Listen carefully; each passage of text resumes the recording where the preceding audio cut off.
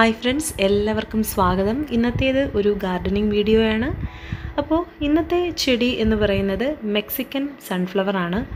അപ്പോൾ നമ്മളിൽ പലർക്കും സുപരിചിതമായിട്ടുള്ള ഒരു ചെടിയാണ് മെക്സിക്കൻ സൺഫ്ലവർ കാണുമ്പോൾ തന്നെ നിങ്ങൾക്ക് മനസ്സിലാകും. ഓൾറെഡി തമ്പനയിൽ കണ്ടപ്പോൾ നിങ്ങൾക്ക് ഏകദേശം പിടികിട്ടി കാണും.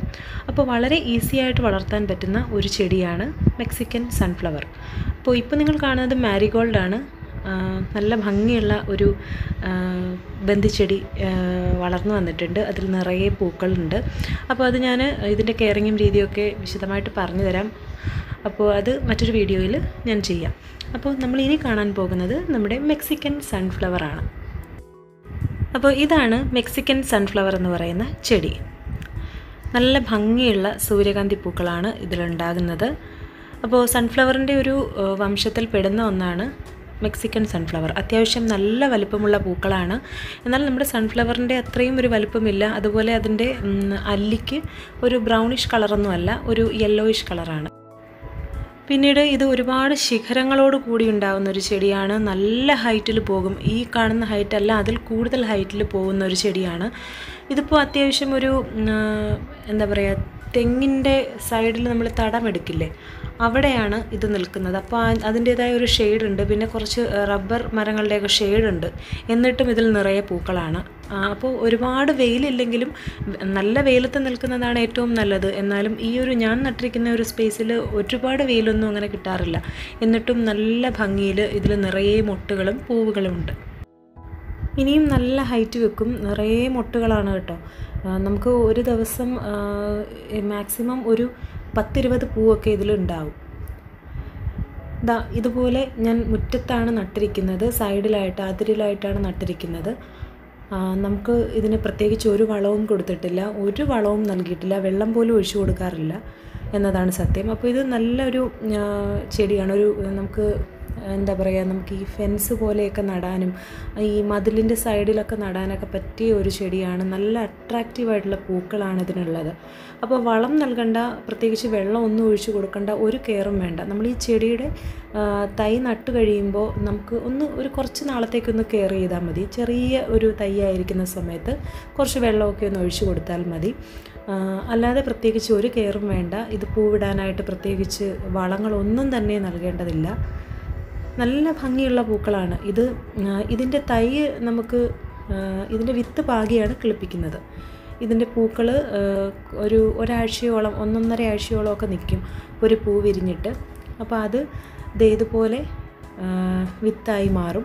ഇത് നമുക്ക് ഉണക്കിയെടുത്ത ശേഷം പാകി തൈ പ്രൊപ്പഗേറ്റ് ചെയ്യാവുന്നതാണ്. ഇത് മിക്ക സ്ഥലങ്ങളിലും നമ്മൾ റോഡ് സൈഡിലും ഒക്കെ കാണുന്നൊരു ചെടിയാണ്. പക്ഷേ ഇത് അതിന്റേതായ ഒരു രീതിയിൽ നമ്മളതിനൊരു ഇമ്പോർട്ടൻസ് കൊടുത്ത് വളർത്തുകയാണെന്നുണ്ടെങ്കിൽ മറ്റൊരു ചെടി ഇല്ലെങ്കിലും നമുക്ക് ഒരുപാട് വളം ചെയ്യാനൊന്നും സമയമില്ല.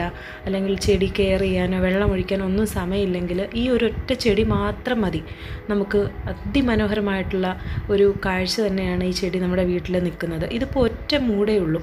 അപ്പോൾ ഇത് ഞാൻ ഇത് നേരെ ഒരുപാട് വർഷങ്ങൾക്ക് മുമ്പ് ഇവിടെ കൊണ്ടുവന്നതായിരുന്നു. അപ്പോൾ അത് നമ്മളങ്ങനെ ശ്രദ്ധിക്കാതെ പോയതാണ്. അന്ന് ഒരു ചെടി നല്ല ഭംഗിയിൽ വന്നിട്ടുണ്ടായിരുന്നു.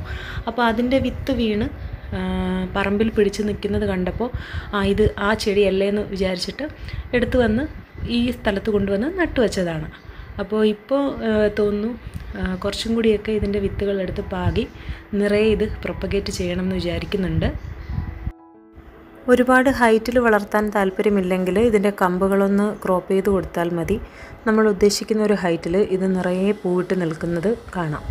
അപ്പോൾ ഞാൻ പല സ്ഥലങ്ങളിലൊക്കെ ഇങ്ങനെ പോകുമ്പോൾ റോഡ് സൈഡിലൊക്കെ ഒരുപാട് ഹൈറ്റ് ഇല്ലാത്ത രീതിയിൽ ഇതിനെ ക്രോപ്പ് ചെയ്ത് നിർത്തിയിരിക്കുന്നത് കണ്ടിട്ടുണ്ട്. നിറയെ പൂക്കളുമായിട്ട്. അപ്പോൾ അങ്ങനെ ചെയ്യുന്നതും വളരെ നല്ലതാണ്. അപ്പോൾ നമുക്ക് ഈസി ആയിട്ട് വളർത്താൻ പറ്റുന്നൊരു ചെടിയാണ്. എവിടെയും നമുക്ക് ഇതിന്റെ വിത്ത് പല സ്ഥലങ്ങളിൽ ഇപ്പം നിങ്ങൾക്ക് പലർക്കും വീടുകളിൽ ഉണ്ടാവുന്നതാവാം പല സ്ഥലത്തുനിന്ന് നിങ്ങൾ കണ്ടിട്ടുള്ളതാവാം. എവിടെ നിന്നെങ്കിലും ഒരു പൂവിന്റെ വിത്ത് കിട്ടിയാൽ മതി. നമുക്കിത് വളരെ ഈസി ആയിട്ട് പ്രൊപ്പഗേറ്റ് ചെയ്ത് എടുക്കാവുന്നതേ ഉള്ളൂ. സാധാരണ എല്ലാ വിത്ത് പാകുന്ന പോലെ നമുക്കിത് പാകി വളരെ പെട്ടെന്ന് കിളിപ്പിക്കാനായിട്ട് പറ്റും. ഒരുപാട് തൈ കിട്ടും ഒരൊറ്റ ചെടിയിൽ നിന്ന്. അപ്പോൾ നമുക്ക് പ്രത്യേകിച്ച് ഈ ഒരു ചെടിയെ കെയർ ചെയ്യാനോ ഒന്നിനും നമ്മൾ സമയം കണ്ടെത്തേണ്ട ആവശ്യമില്ല. ഇത് ഞാൻ തൊട്ടടുത്ത ദിവസം എടുത്തതാണ് ഈ ഒരു വീഡിയോ. അതിൽ കുറേ അധികം പൂക്കൾ വന്നിട്ടുണ്ട് കണ്ടില്ലേ? നിറയെ മുട്ടുകളുണ്ട്. എന്ത് ഭംഗിയാണെന്ന് നോക്കിയാൽ കാണാനായിട്ട്. അപ്പോൾ ഈ ഒരു ചെടി നിങ്ങൾ പറ്റുമെങ്കിൽ എവിടെ നിന്നെങ്കിലും കിട്ടുകയാണെങ്കിൽ ഒന്ന് നട്ടു വളർത്തു. നല്ല ഭംഗിയാണ്. നമുക്കൊരു കെയറും ചെയ്യാതെ നല്ല ഭംഗിയുള്ളൊരു പൂന്തോട്ടം ഈ ഒരൊറ്റ ചെടി കൊണ്ട് നമുക്ക് ക്രിയേറ്റ് ചെയ്തെടുക്കാനായിട്ട് പറ്റും. അപ്പോൾ ഇന്നത്തെ വീഡിയോ ഇത്രയേ ഉള്ളൂ. വീഡിയോ ഇഷ്ടമായെങ്കിൽ ലൈക്ക് ചെയ്യാനും ഷെയർ ചെയ്യാനും നമ്മുടെ ചാനൽ ദയവായി ഒന്ന് സബ്സ്ക്രൈബ് കൂടി ചെയ്യാനും മറക്കരുത്. സബ്സ്ക്രൈബ് ബട്ടണിന് തൊട്ടടുത്ത് കാണുന്ന ബെൽ നോട്ടിഫിക്കേഷൻ കൂടി മറക്കാതെ ഓൾ എന്ന് എനേബിൾ ചെയ്താൽ ഞാൻ ഫ്യൂച്ചറിലിടുന്ന എല്ലാ വീഡിയോസിന്റെയും നോട്ടിഫിക്കേഷൻസ് മിസ്സാകാതെ നിങ്ങൾക്ക് ലഭിക്കുന്നതായിരിക്കും. അപ്പോൾ പുതിയൊരു ഇൻട്രസ്റ്റിംഗ് വീഡിയോയുമായി ഞാൻ വീണ്ടും വരാം. അതുവരെ bye thank all for watching stay safe stay healthy